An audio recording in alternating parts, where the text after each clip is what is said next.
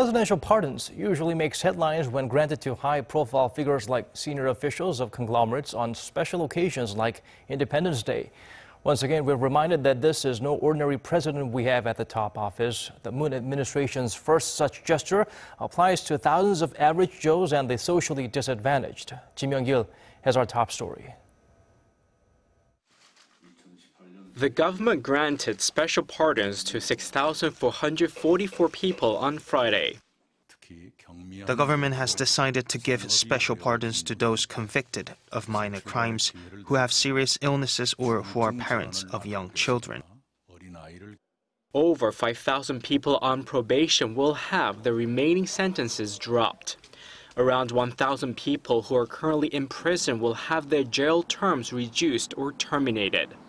The beneficiaries also include 25 protesters who were convicted after a deadly clash between police and residents who were opposed to a redevelopment project in Seoul's Yongsan district in 2009.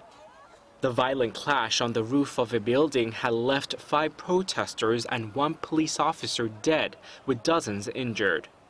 Former lawmaker Chung Bong-ju was the only politician included in the pardons. Chung was convicted for violating election rules after making allegations ahead of the 2007 presidential election against then candidate former President Lee Myung-bak. Chung had claimed Lee was the real owner of the financial firm BBK, which was responsible for stock price rigging.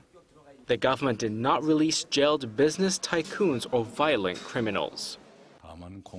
We have not given special pardons to government officials, economic and violent criminals to maintain law and order. The pardon list falls in line with President Moon Jae-in's pledge not to pardon anyone convicted of corruption or interfering with financial markets for vested interests. President Moon had previously said bribery, embezzlement, and dereliction of duty will be seen as corruption offenses. In Korea, the government traditionally grants such amnesties on nationally significant days. Ji Myung-kil, Arirang News.